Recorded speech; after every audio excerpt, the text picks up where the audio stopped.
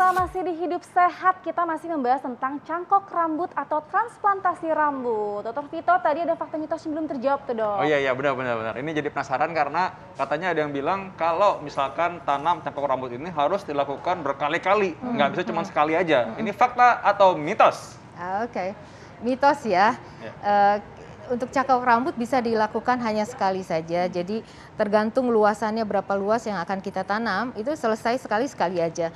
Kecuali kalau mamanya jumlah rambut yang di belakang itu kurang. Makanya makanya kita kerjakan sekali dulu, nanti diulang lagi satu tahun untuk ambil lagi untuk dipindahkan. Udah gitu udah selesai, nggak berulang-ulang. Seperti Jadi ya mungkin berulang itu kalau ada faktor yang lain ya, mungkin Ya. apa ya tentu ya, saja kan faktor pasien kekurangan juga, da- kekurangan rambut di daerah juga donor. bisa ya dokter Iya, ya. betul. Oh. Kekurangan gitu. Baik baik dokter. Kalau untuk prosedurnya tuh bagaimana sih dok? Kan pasti penasaran dari mulai cangkoknya, lalu pengerjaannya berapa lama gitu, Oke. sampai benar-benar beres gitu dok. Oke. Nah, eh, memang banyak sih ya teknik-teknik transplantasi rambut ini, tapi yang kami kerjakan adalah tekniknya DHI, direct hair implantation. Jadi setelah pasien dicukur rambutnya dibersihkan, pasien akan eh, kita lakukan ekstraksi rambut. Ini dalam posisi tengkurap. Ya, posisi tengkurap seperti biasalah aseptik, antiseptik ya, bersih baru kita anestesi lokal. Setelah anestesinya jalan, baru kita ambil satu-satu si akar rambutnya dengan alat khusus ya. Setelah jumlah rambut yang kita inginkan cukup, pasien istirahat dulu sekitar setengah jam untuk makan siang, untuk sholat ya. Dan setelah break setengah jam, kembali lagi ke ruangan untuk ditanam ya. Ditanam sesuai dengan desain yang kita gambar sebelumnya.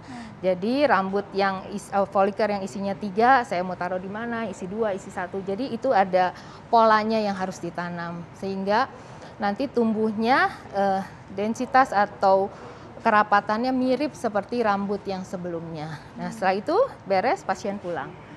Hari besoknya kembali untuk buka perban untuk cek ada infeksi, ada perdarahan dan sebagainya. Hari ketiga kembali lagi untuk cuci rambut dan diajarkan untuk cara bersihkan rambutnya. Oke, setelah itu baru kontrol di minggu kedua, di bulan pertama, setelah itu PRP tiap satu bulan. Oke Gitu. dokter. Dan banyak juga nih dok orang-orang yang melakukan cangkok rambut itu di luar negeri, contohnya di Ya. Turki gitu ya. Ya. Nah kalau misalkan mereka pulang ke Indonesia itu Ya. apakah ada eh, perawatan lanjutannya dok? Iya, itu yang yang saya bingung juga ya. Kalau mamanya kita habis melakukan tindakan, sebenarnya seharusnya kan harus ada prosedur untuk kontrol. Ya, ketika itu terjadi infeksi nanti gimana? Ketika dia tidak berhasil tumbuh seperti apa? Perawatan-perawatan berikutnya itu yang harus mereka pikirkan juga, ya. Karena eh, eh, ini kan fragile ya, selama satu bulan itu rambutnya masih fragile.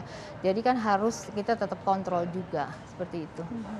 Ya, Jadi lebih pasti. baik dilakukan di sini kali ya supaya nanti ev- apa evaluasinya juga Iya. mudah ya. Iya, kalau aku bilang sih ya dokter-dokter kita udah jago-jago, pinter-pinter ya, terus eh, eh, apa namanya ilmunya juga nggak kalah dengan yang lain. Kenapa sih mesti jauh-jauh? Dan gitu? tadi terutama tadi pentingnya karena ini kan ternyata ada follow up perawatan Iya, dan follow lain-lain up. ya. Kan kayak kita kalau tanam tanaman kan nggak mungkin cuma taruh bibit aja terus udah dibiarin ya. tinggalin gitu Iya, kan. Pasti kan ada harus seperti kita kasih pupuknya, Iya, betul. perawatannya gimana gitu ya. Iya betul, betul. Penasaran nggak dokter Sasa ini kira-kira berapa sih biayanya? Nah, ini pasti yang tadi Pengen nanya kan kalau kalau- pemirsa ya. Spill dong dok, di spill. Ah, Oke, eh, relatif ya kalau eh, ini ya eh, biaya ya. Biasanya kita tergantung luasannya aja ya. Makin dia luas dia makin besar Kayak biayanya. tanah ya dokter Sasa ya. Ya gitu. Luasannya, Karena kita ya. ngerjainnya hampir berapa. 8 jam loh itu. Kan sekarang ada tanah virtual tuh, ada rambut tapi- virtual Ada, ada filter.